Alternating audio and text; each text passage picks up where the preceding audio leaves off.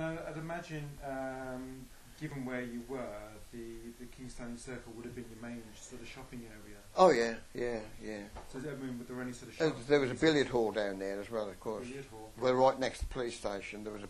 It's still there actually, hmm hmm and uh, we would hang about in there a lot, you know. All right.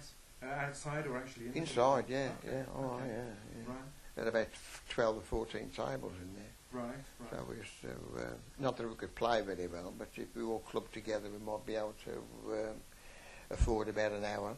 Right. did, did you have to be a certain age to use it, sort of over 14 or over 16, I think it was, yeah, 16. Right. Everything started at 16, usually, but Right. of course, nobody checked anyway.